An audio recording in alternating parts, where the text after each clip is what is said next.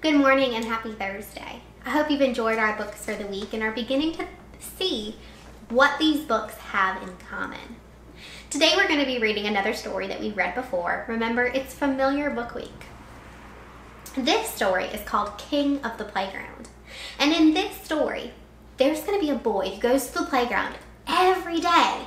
And every day he goes to the playground, this one bully is just so mean and won't let him play on things.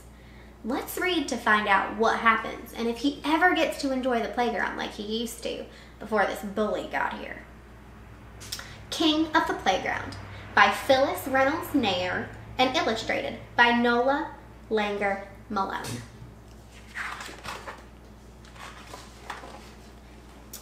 Kevin put on his Spider-Man t-shirt, his Batman underpants, and his jeans with a horseshoe on each pocket.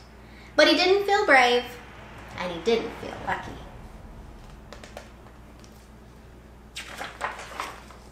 He walked up the street to the playground.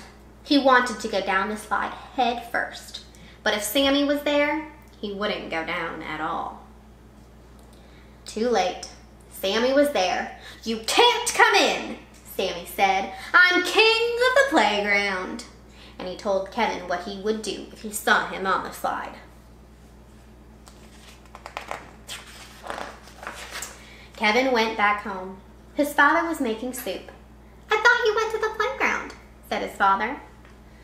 Sammy says if I go on the slide, he'll get a rope and tie me up, Kevin told him. He says he'll tie my hands and feet so tight, I'll never get loose. It's good that he told his parents, didn't he? Wow, said father. Really? And what would you be doing while Sammy was trying you up? Just sitting there? Kevin remembered when he tried to put a sweater on their cat. But it didn't go very well. I'd be kicking my feet, he said. Right, said his dad. That's one thing you could do. Oh, so his dad gave him an idea. If Sammy says he's gonna tie you up, are you just gonna let him? He thinks not. The next day, Kevin went to the playground and got as far as the swings. You can't play here, yelled Sammy, running over. I'm king of the swings. And he told Kevin what he would do if he saw him on the swings. Mean old Sammy. Kevin went home and sat on the porch. Father was washing his car. Thought you were going to the playground, Father called. Kevin shook his head. Sammy says if I go on the swings, he'll dig a hole and put me in it. He says he'll dig a hole so deep, I'll never get out. Father smiled a bit. How long do you think it would take Sammy to dig that hole? Kevin remembered when he had helped his father dig big holes for fence posts in the backyard. A long time, he said. And what would you be doing while Sammy was digging? I'd be kicking the dirt back in, said Kevin, and he smiled a little too. Right, said his dad. That's one thing you could do. So he has another idea of something he could do if Sammy was going to dig him a hole. The next day, Kevin went to the playground and tried to climb the monkey bars. You can't play here. I'm king of the monkey bars, Sammy shouted, and told Kevin what he would do if he saw him there. Kevin went home and climbed up the maple tree. His father was working in the garden. I thought you were going to the playground, said father. Sammy says if I climb the monkey bars, he'll come over to our house and nail all the doors and windows shut and we'd be trapped forever. Kevin looked at his father, and they both started to laugh. And while Sammy was nailing one door shut, we could walk out the other, Kevin said. Right, said his dad. Oh, something's changed. He, Kevin didn't need his dad to help him. As soon as Kevin saw his dad, and his dad asked one question, Kevin was able to say what he would do. I wonder what he's going to do with his new knowledge. Next morning, Kevin put on his Spider-Man t-shirt, his Batman underpants, and his jean with the horseshoe on each pocket. He felt only a little bit brave and a little bit lucky. He walked up the street to the playground. Thump, thump, thump went his heart. Sammy was sitting by himself in the sandbox. It was a big sandbox, but when Sammy was in it, no one else wanted to play. Kevin slowly walked over. You can't play here, Sammy yelled when he saw him. I'm king of the sandbox. Kevin put one foot in the box. Go home, Sammy yelled even louder. If you try to play here, I'll put you in a cage with bears in it. Uh-oh, that's not very nice. Wonder what Kevin's gonna do. Kevin put his other foot in the sandbox.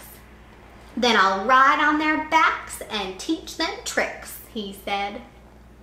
Sammy stared. You can't, he yelled. They're bears. Then I'll squeeze through the cage and escape. You can't, Sammy shouted. You're too big.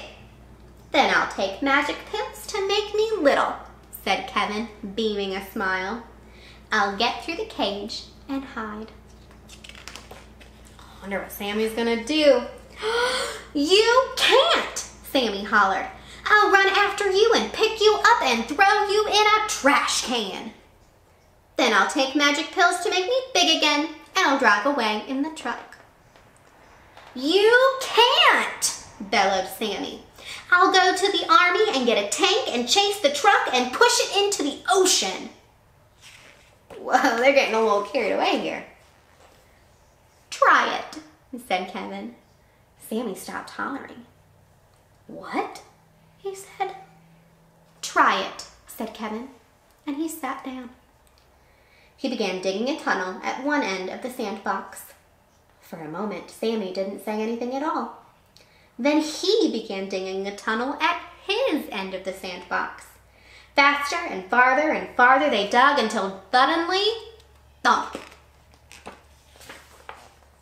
They bumped heads right in the middle. This time, Kevin laughed out loud. He wasn't sure, but he thought maybe Sammy was smiling too.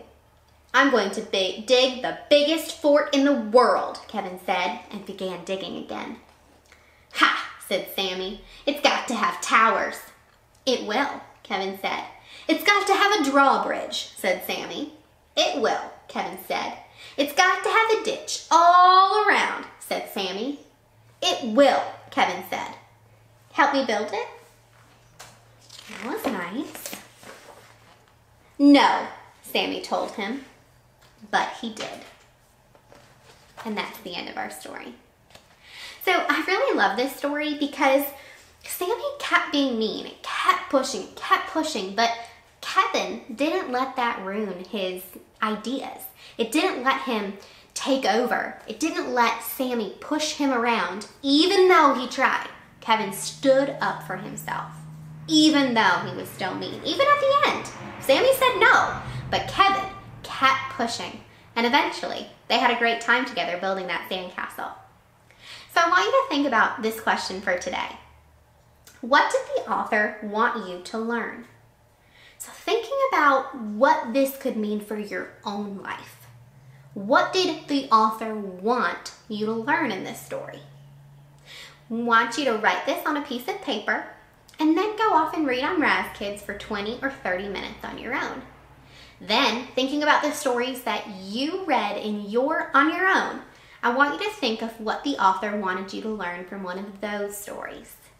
I'll see you tomorrow.